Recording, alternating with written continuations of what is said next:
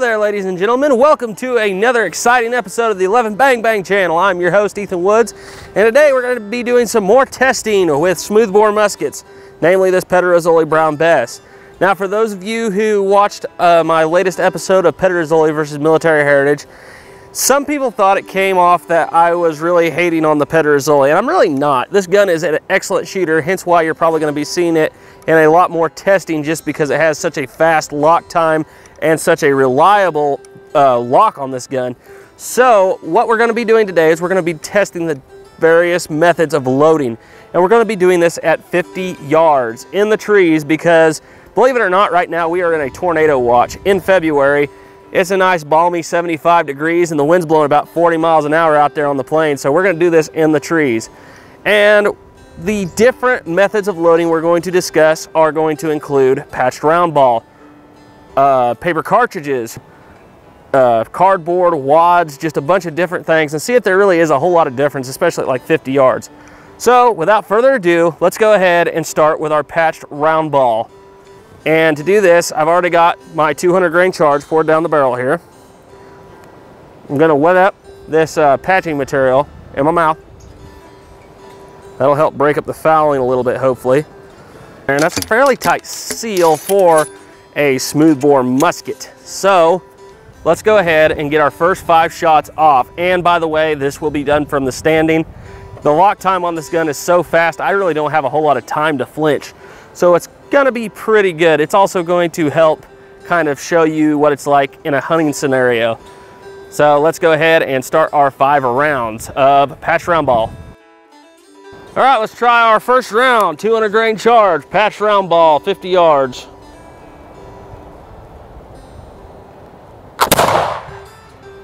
Oh, I can see where that one hit about two inches high of where I aimed.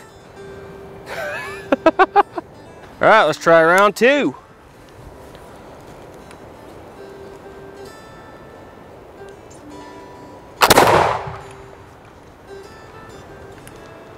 Not bad, about four inches to the right of that first one. Let's try again. All right, round three.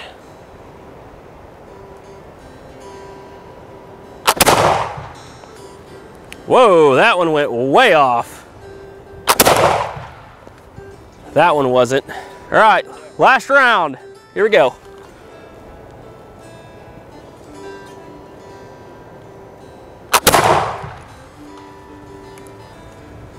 That was not as good as I was expecting, but I guarantee you that last one, man, I did not flinch. I don't know what the deal is. All right, guys, I'm not gonna lie, this is not as good as I was hoping for. Uh, this is patched round ball, by the way, 200 grain charge. Round one, like I said, hit about three inches from where I was aiming. Round two was over here. Round three, for some reason, was clear over here. Round four was right there. And round five was right there. And guys, like this one right here, I guarantee you, I was holding right on this thing, did not flinch. That's the accuracy you're expecting kind of with patched round ball out of a Pedersoli Brown Bess with this powder charge. So let's go ahead, we're gonna mark those out and go back and we will try another method of shooting, which is paper cartridge. All right, we're on to our second round. We got our first set of uh, holes marked out, and now we are gonna be using the historically accurate British paper cartridges. Put a little bit of powder in there.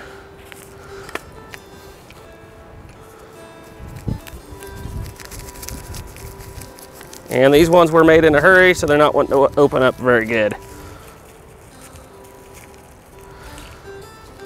That's okay, this isn't a speed competition. This is an accuracy test.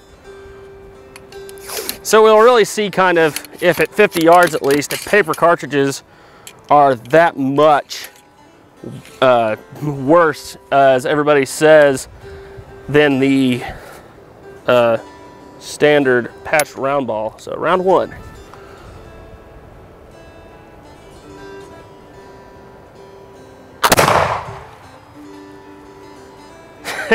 that was actually a really good shot. But I'm not gonna count my chickens before they hatch because we know how this whole thing works, don't we? Half cock, retrieve your cartridge. Bite, spit, prime the pan, close, place the barrel away from you. Go ahead and get the rest of that powder to go down the barrel.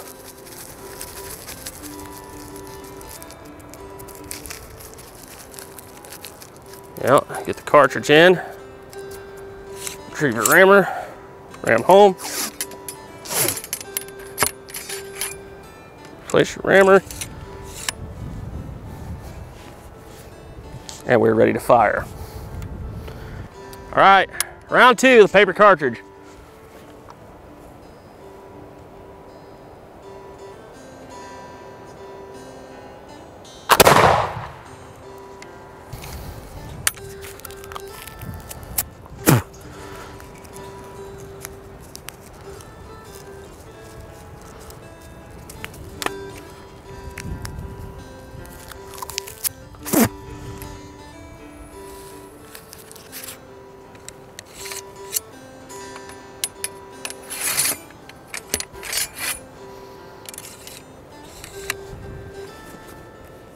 Round three.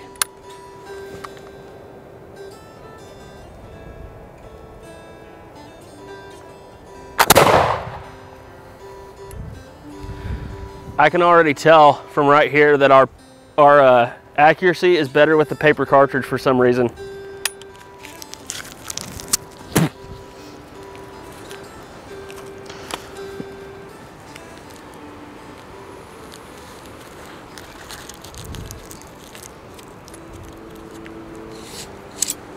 This barrel is getting a little bit warm, to say the least. Alrighty, was this four? Round four, yeah, it's four. Oh, the heat mirage.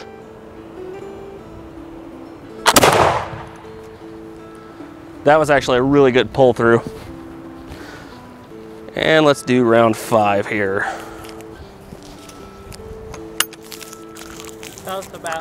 200 grain.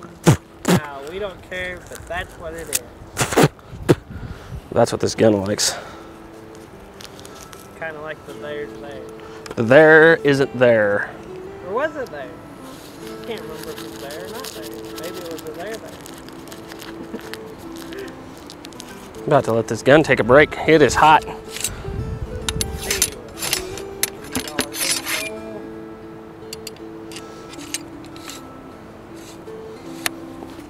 All right, last round.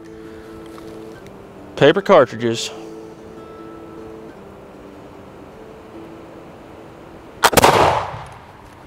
That one I felt like I was a little bit off to the left, but I can see where I hit and I actually hit the bullseye. So let's go ahead and take a look at our paper cartridges here.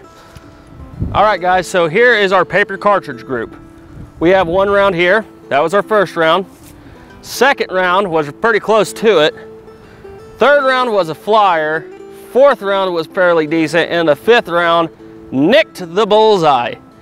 So what I find funny is, I don't know why, maybe this is just me, but I've noticed it myself personally and just my everyday shooting. I tend to shoot better with paper cartridges out of these muskets than I do with patched round ball. So let's go ahead and go to our next method of loading, which is going to be putting a cardboard wad in between the powder and the ball and a cardboard wad on top of the ball and see if we get any better or worse results. All right, so now we're going to go ahead and use these little cardboard wads. I like to split these in half. These are from Track of the Wolf, and I've already poured my 200 grain charge. So what I'm gonna go ahead and do is I'm gonna put one of these down, and we're gonna put it on the powder. Now personally, I don't like doing this. It feels wrong to me. But there are a lot of people out there who do do this, and we'll see if there's any merit to it. Then you put your ball on top of that cardboard wad, and then we put one on top and see how well she works. Round one of two wads above and below the ball.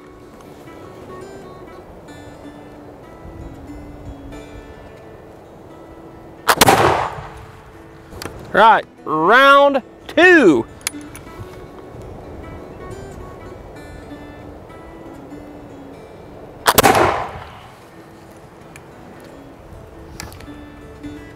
Round three.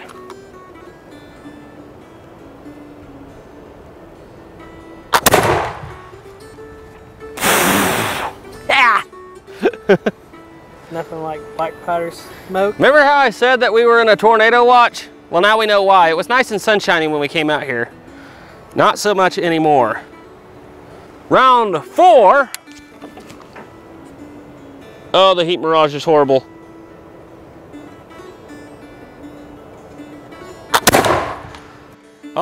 Antigua was a fine old man, washed his face in the frying pan. Round five. Combed his hair with a wagon wheel. Bad way to go on his hill. All right, guys, this is why I don't actually like using the cardboard wads on top and below the powder. So what we have here is we have uh, one hit, two hits, three hits. So those are fairly decent. One, two, three, all right here. Four, and then, eh, five. But uh, yeah, I've always heard that wadding below or on the powder and on the ball is not generally a good idea, and I think now it's kind of obvious why.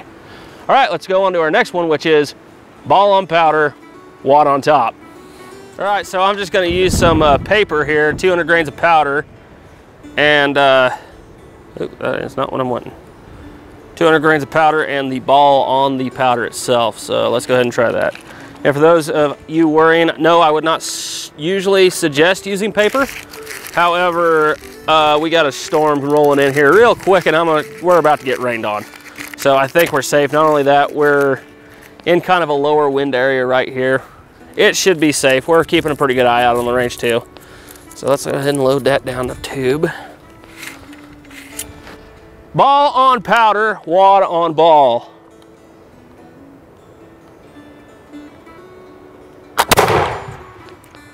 That was actually a beautiful follow through. If that one, if that one didn't hit the bullseye, and I see where it hit, and it actually didn't hit the bullseye, it was just right under it. Uh, that one, I will tell you, was not on me because that was a beautiful, beautiful shot.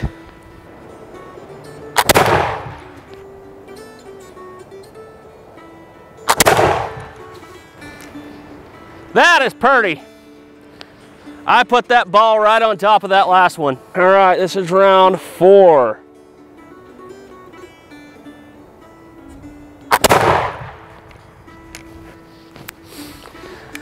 I'm starting to think we got a winner here. wow. Oh, I hope my fifth round doesn't throw it. Found a cough, a cough drop wrapper. It's going down range too. We're gonna cure the enemy of the whooping cough. This round five. This is the fifth and final round of this set. And I hope I don't mess it up. You want some powder, good man? I would appreciate some powder. Oh, thank you, good sir. Yeah, Homemade powder. homemade powder and fifth and final round.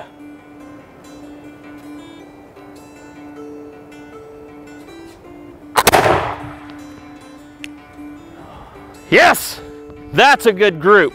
Let's go take a look. All right, ladies and gentlemen, this is our best group we've had so far. So here is round one. Round two actually hit, you can actually see there's already a hole there, but you can see it's widened out, it's egged out towards the bottom of this side. So there's our second round. One, two, three, actually three, four, five. And I can cover it with my hand, basically. I can at least touch all the holes with my hand. So that is by far our best group today. And it kind of does go to show that yes, if you don't put that, if you don't put anything between the powder and the ball, and I've noticed this too, you get more accurate shooting. So we're gonna go ahead and mark these and do our final set, which is just ball and powder, no wadding, called running ball.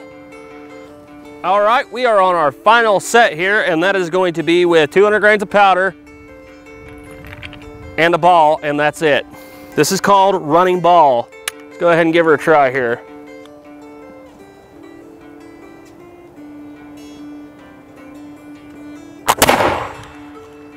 Not bad. All right, guys, that storm is rolling in. It is getting dark out here, so we're gonna have to hurry. Round two.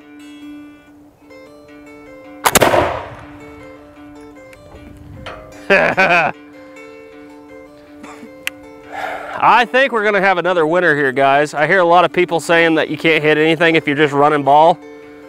But uh, I just put that second round right next to that first round. So maybe, never know.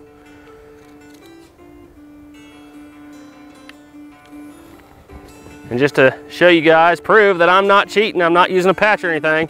Ball, powder, powder. And let's see here, let's try this again.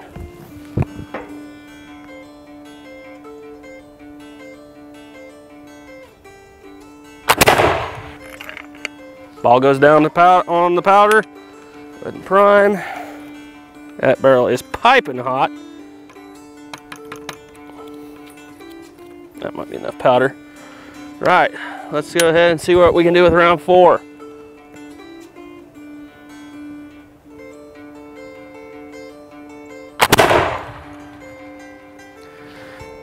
Right, fifth and final round.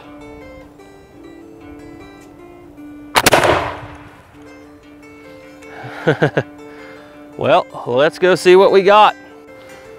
Okay guys, here's our fifth and final group. Round one, right there. Round two, right there. Three, four, and five. Not quite as small as I was getting whenever I was putting wadding down on top.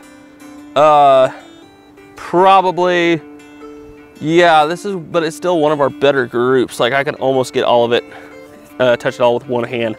And that is, again, kind of dispelling a myth that you literally can't hit anything if you're just running ball down the barrel without patch. So, okay. I guess that tells us what we need to know. So as always, thank you for watching. Trust in God and keep your powder dry. Bye.